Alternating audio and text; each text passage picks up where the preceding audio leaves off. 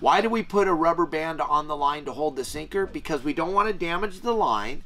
And then in the middle of the fight, the rubber the fish will shake this right off the line and break the rubber band. It's pretty cool. 99.9% .9 of the time when you bring your bluefin in, the sinker's no longer on the line.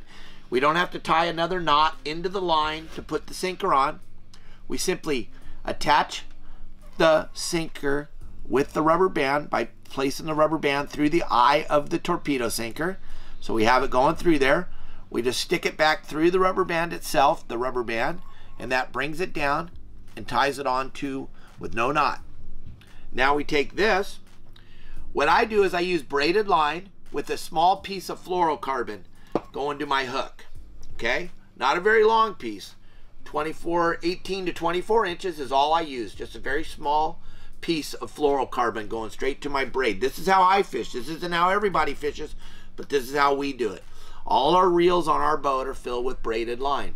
We just use this small piece of fluoro because I believe that the fish can see the braided line, but they can't see the piece of fluoro. And you got to remember, these fish are very finicky sometimes, the bluefin, so you want to go as stealth as you can. I'm going to use a black or bronze hook because of the fact that when the hook hits the water, it's invisible. Then I'm going to use a short piece of mono or fluoro. If you think you need fluoro, then you got to have fluoro. Then I'm just going to attach it to the line with the RP knot. And then I'm going to take my rubber band sinker and I'm going to hook it right at the braid, right where the knot is. Okay? And I'm going to stick the hole of the rubber band around the braid. Then I'm going to stick the sinker back through the hole. If you look at it, it's going to come down on the knot. Why on the knot? That way it doesn't have a tendency to slip down onto your hook because it could still slip up and down the line, but I tie it right to the knot so that it doesn't slip.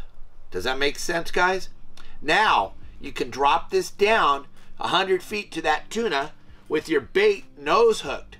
Not in the back, not in the side, but nose hook your mackerel or your sardine side to side through his nose.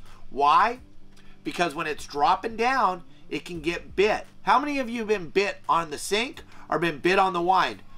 That's because the bait looks natural. It looks like it's swimming down or it looks like it's swimming up. But if you hook it in the back or in the tail, now you've taken yourself out of the game while you're dropping it down and you've taken yourself out of the game when you're winding it up because there's no bait in the world that swims butt first or back first. I never seen a fish swimming back first. They all swim nose first. So that's why I'm going to hook it side to side through the end of the nose. I'm going to drop it down with my sinker that's just simply put on the line by the rubber band. Then when the fish bites, it starts to shake violently.